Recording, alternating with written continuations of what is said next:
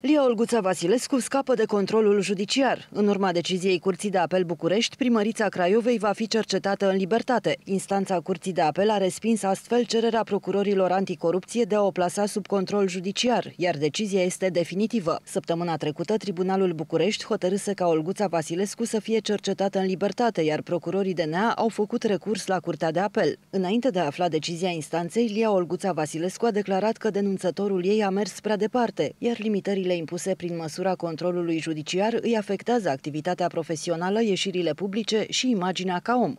Controlul judiciar s-a referit la faptul că eu nu mai am voie să Merg uh, în studiourile de radio și televiziune, să nu uităm totuși faptul că sunt o persoană publică. Mi se interzice acum să iau legătura cu jumătate din primărie, înseamnă că ajungem în situația în care intrăm într-un blocaj.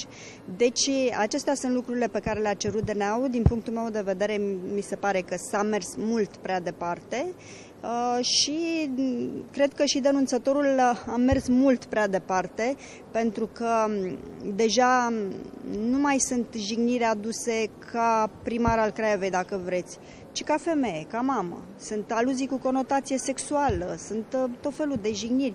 Adică, totuși, Primărița Craiovei a mai declarat că denunțătorul din dosarul său este transformat într-un hărțuitor și că vrea să-l dea în judecată, iar în instanță să ceară ca acesta să fie supus unei expertize psihiatrice. Lia Olguța Vasilescu a fost trimisă în judecată de procurorii anticorupție pentru luare de mită, spălare de bani și folosirea autorității sau influenței pentru a obține foloase necuvenite. Ea a fost aleasă la scrutinul din 5 iunie pentru un nou mandat la primăria Craiovei.